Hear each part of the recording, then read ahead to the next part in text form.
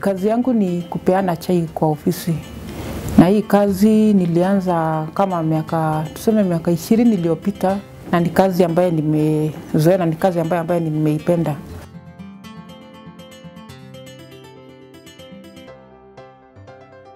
Nilikuwa nateseka sana, saa zingine sina bus fare, inanibidi nizunguke ofisi mzima kuomba watu bus fare.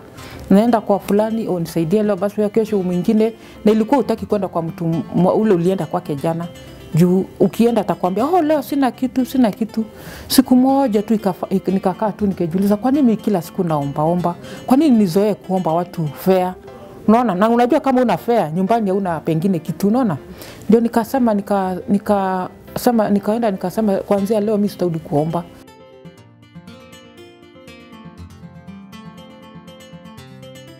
Kwanza nilianza na mshahara ile nilikuwa nikipata. Na juu mshahara ilikuwa chini kidogo.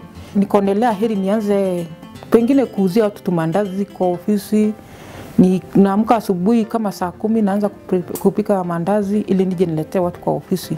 Na watu walinisapoti juu walikuwa wakinunua mandazi. Nikaendelea hivyo hivyo nikaona mandazi tena inachokesha. Kuamka asubuhi kupika kuja kazini kuanza kazi ya kupeana chai kupanguza ofisi.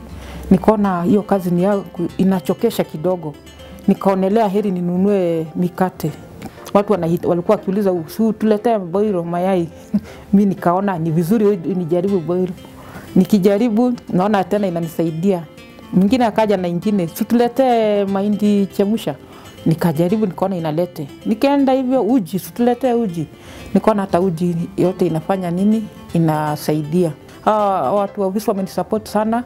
Na ndio imenisaidia nikasomesha wa- watoto mahali wamefika ule mkubwa akiwa university JKUAT na mwingine ako form 2 na niko na huyu wa class 1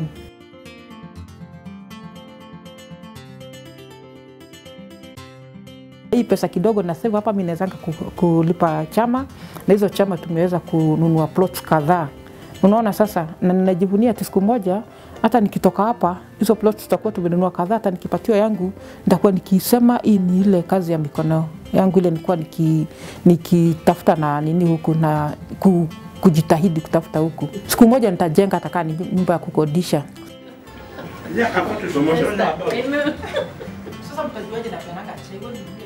Ile kitu nimesoma hapa, hakuna mahali huwezi tajirikia, hakuna mahali huwezi pata pesa, hata kama ni wapi, hata kama unafagia, pengine unafagia na unaenda kuuza njugu zako, hakuna mahali huwezi pata pesa zako za juu, na unaweza atauza hizo njugu na ujikute uko wapi, uko pale juu, watu tu watakuona mama chai ama mama klina wa nini, lakini Mungu anakuinua na njia ingine, na hakuna siku nilishakasirika kama nikasema oh, hata watu wakiniita ile jina wataniita. Mi siku- sikujali. Juu nilikuwa nikijua nini natafu natafuta